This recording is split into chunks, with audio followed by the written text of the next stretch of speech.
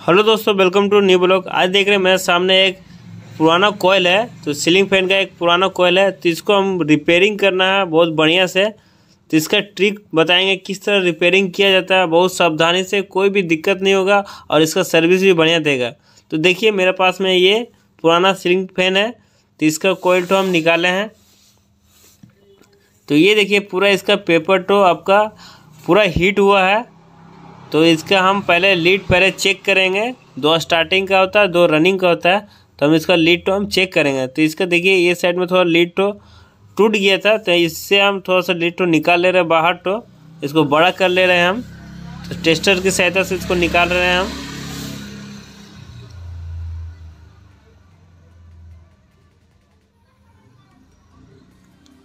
और आपको भी बताएँगे कितना आसान है एकदम रिपेयरिंग भी करना, कोई दिक्कत नहीं है। आपको न्यू वाइंडिंग करने का भी दरकार नहीं, कोई झमेला नहीं है एकदम।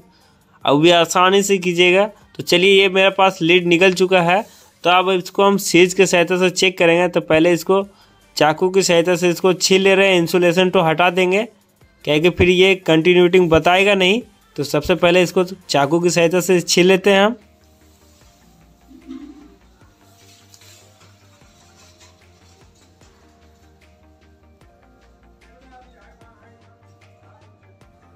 तो चलिए चलिए तो हम इंसुलेशन तो छील लिए हैं। अब इसको हम चेक करेंगे सीरीज़ की सहायता से।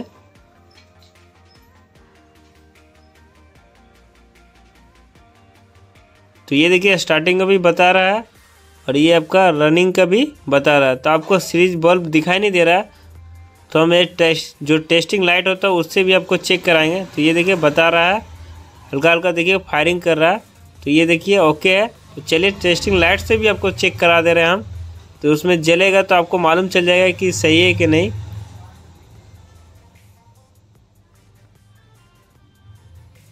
ये देखिए, जल गया।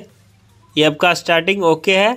इसका बॉडी भी नहीं है तो ये देखिए बॉडी भी चेक कर दिए इसी तरह आपका रनिंग का भी बताते हैं। तो ये देखिए रनिंग का भी दिखाते हैं आपको। ये देखिए रनिंग का भी बढ़िया से इसको सटाना होगा, क्या कि इंसुलेशन तो बढ़िया से छिले नहीं। ये देखिए, ये भी जल गया है।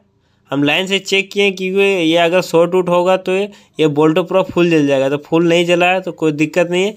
ये कोयल आपका ओके है। तब इसका पहले क्या करना है? सबसे पहले हम इसको बानिश देंगे। अब बानिश देने के बाद ये पेपर तो पूरा सूख जाएगा तो ये पेपर तो झरेगा नहीं तो पेपर तो झड़ जाएगा तो फिर आपका कोयल बेकार हो जाएगा। क्योंकि पेपर जब झड़ जाएगा तो ये बॉडी हो जाएगा। अब बॉडी हो जाएगा तो फिर कोयल तो आपका नया बनाना पड़ेगा। फिर से कोयल इसको काट के नया बनाना पड़ेगा क्योंकि आपका ये रिपेयरिंग नहीं हो सकता है। तो सबसे पहले इसको हम बानिश दे देंगे। तो हर पेपर में हम इसको बानिश दे रहे हैं। कोयल में नहीं दे रहे सिर्फ़ पेपर में ही दे रहे इसका पेपर आपका बना रहेगा तो आपका कोयल तो चलेगा। तो सिर्फ़ हम पेपर में इसको बानिश दे दे रहे पूरा बढ़िया से।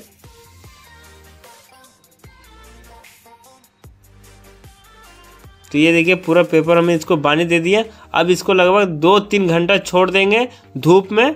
उसके बाद जब सूख जाएगा, तब इसके बाद हम इसको लीड निकालेंगे। तो ये देखिए, पुराना लीड इसमें फंसा हुआ था तो इसको हम निकाल दे रहे हैं।